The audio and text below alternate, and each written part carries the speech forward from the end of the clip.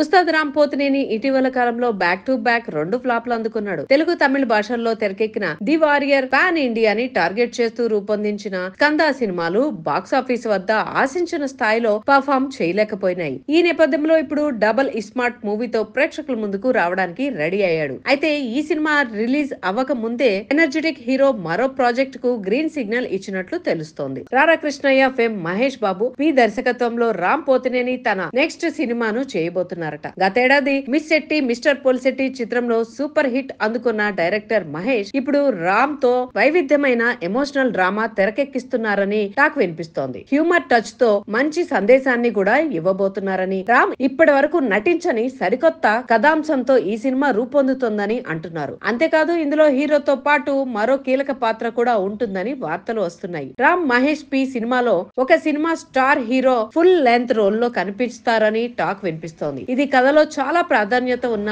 ముఖ్యమైన పాత్ర అని ఒక రకంగా ఇదొక మల్టీ స్టారర్ మూవీ అనే ఊహాగానాలు వినిపిస్తున్నాయి. రామ్ గతంలో విక్టరీ వెంకటేష్తో కలిసి మసాలా అనే మల్టీ స్టారర్ చేశారు. ఇది బాక్స్ ఆఫీస్ వద్ద పెద్దగా ఆడలేదు. అయితే దశాబ్దం కాలం తర్వాత మళ్ళీ ఇప్పుడు మరో హీరోతో స్క్రీన్ షేర్ చేసుకుంటున్నారనే మాట సినీ వర్గాల్లో వినిపిస్తోంది. ఈ సీనియర్ హీరో ఎవరనేది మేకర్స్ త్వరలోనే వెల్లడిస్తారేమో చూడాలి మరి.